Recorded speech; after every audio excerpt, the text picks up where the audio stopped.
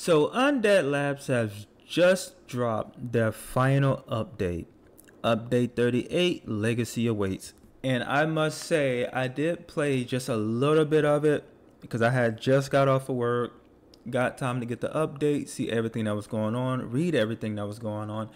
And I must say it's a lot to talk about. So let's go ahead and get into this video. But before we do, please be sure to hit that like button, hit that subscribe button, turn on post notifications so you'll be notified when we drop a brand new video. It's your boy, The Real Tundra, aka King Tundra, and let's talk about it. So before we get started, again, can we please talk about how they ended up, you know, putting the soundtrack in the main menu like that just makes me happy. There's nothing better than loading up the game and you're hearing this song right here playing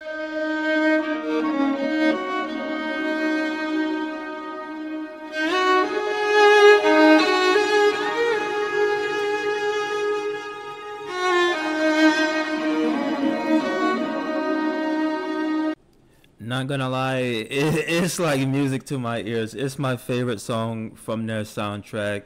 Now, we have to talk about these other things that Undead Labs decided to do.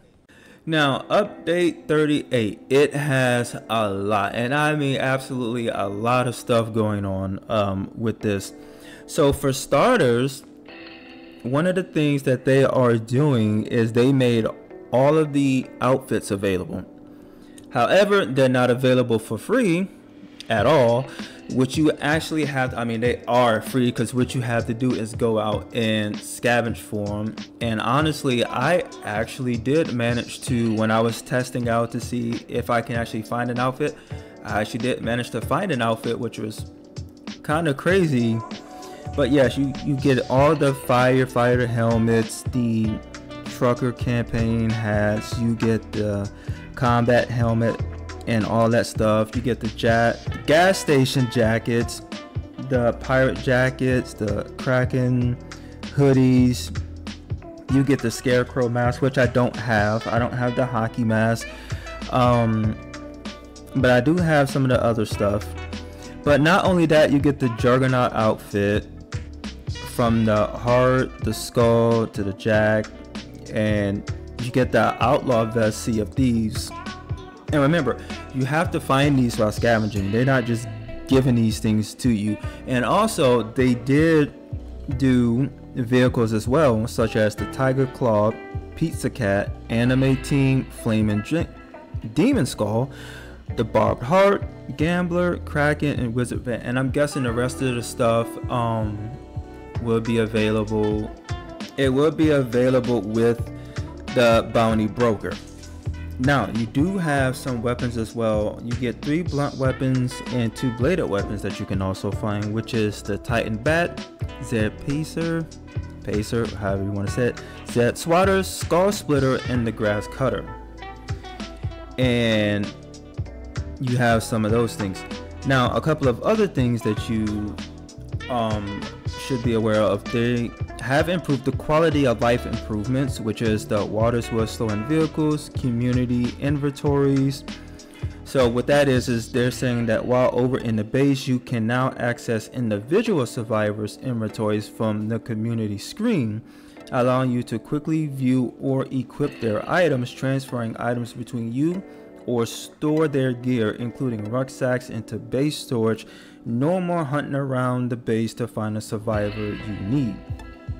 Alright, so this is one that I talked about in update 37, which was zombie spawning has been removed after certain noise. Because if you remember, I told you they wanted to do more real, uh, realistic by me saying that, you know, when you clear out an area, that area is done. You know, there's not going to be zombies randomly spawning up in um in that area after you done cleared it. So what they're saying is fail search crashes and door slams will no longer spawn new zombies. The noise events will now simply attract already existing zombies to their location. They've also reduced the distance at which characters automatically attempt to climb down from ledges. Additionally, characters would no longer attempt to climb down unintentionally whilst the player is aiming. which could often lead to some frustrating moments, and rucksacks can now be deposited at claim landmark outposts. So you have that, and then of course they went and fixed some blood donors uh, stuff. I guess you know to make it more so like any other enclave you know coming in doing their missions and stuff like that which i personally think is good because i got tired of the blood donor mission spawning in like crazy and it's like no spawn in like the rest spawn in you know if you do you do you don't you don't I like the fact that they improved that. Now you can also obtain rewards for defeating the Black Heart and killing a Jug during the Gargantuan mutation, which includes RTX Piranha, RTX Rampant, RTX Cyclone, Cyclone Tactical, and MCX Osprey RT. Now, I guess that had to do with some um, community feedback because they did say in response to community feedback that it was appearing too frequent the delay in cooldown for the Banganomics curveball has been somewhat e- increased. I guess they're saying because the those curveballs was popping up frequent.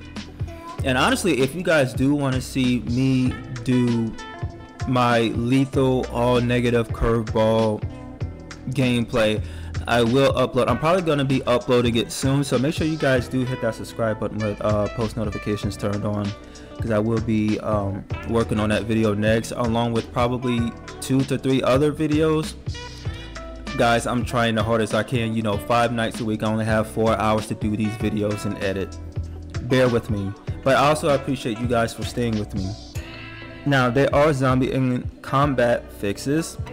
Just to let you know, they have been doing that okay? And one of the things i do want to talk about is where they said they fixed a bug in which zombies sometimes become unresponsive after getting stuck in their idle state. And they also fixed an issue where ferals could instantly destroy certain vehicles by attacking to and attacking specific points oh attaching i'm sorry and attacking specific points. I was about to say what? But I do know somewhat what they're talking about. If you guys watch me on Twitch, you know, at the Real Tundra, then you guys will see firsthand. I, I know what they're talking about with this one. But they also fixed some curveball things, which is also good and it's very much needed. It it is very much needed. Some of these issues are very much um, need to be fixed.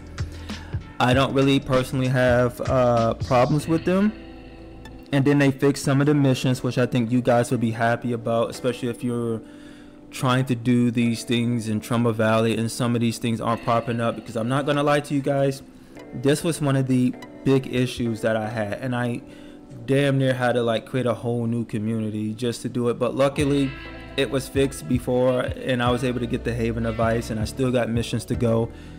So they have fixed that. Like one of the things where it says resolve an exploit in Heartland where the Cleo supply drop mission could be bypassed by leaving the site and returning to zero zombies, which auto completed the mission. Now the mission would be abandoned and must be redone. So I guess you guys was out here exploiting this thing in order to do it and now they made sure to fix it, which is good on their part. You know, you guys need to earn these things, not try to cheat to get it. And then there are some UI and settings fixes. Again, I'm gonna just go through one of them. Fix an issue with luxury crates missing exclamation marks on certain items. I mean, the list of things that they have done and all just so they can um, focus more on State of Decay 3. Guys, the list is completely long. That means they've been literally trying to put in work to make sure that before they leave the game with no more updates, they wanted to make sure that the game was good. But if you guys know that you guys already know, with each update, no matter what game it is, Call of Duty, NBA 2K, probably Dead by Daylight, guys, oh man, we always know there's gonna be some issues, but I do seriously hope because it looks like a lot of these may be PC issues. My only issues is uh, maybe a couple of things that I named, but I mainly get crashes. And honestly, when I did a little test earlier, I'm not gonna lie, it it felt smooth. it really did it felt smooth but we're gonna see how long that lasts so let me know down in the comment section below if any of your issues was fixed and if not i would personally love to know what issues that you are currently still having in the game and be sure to let yeah just let me know down in the comment section below and I will be replying to you guys as I always do. And again, thank you all for my support. And hopefully, it does fix it. And I will be talking to you all later. It's your boy Tundra, and I'm out.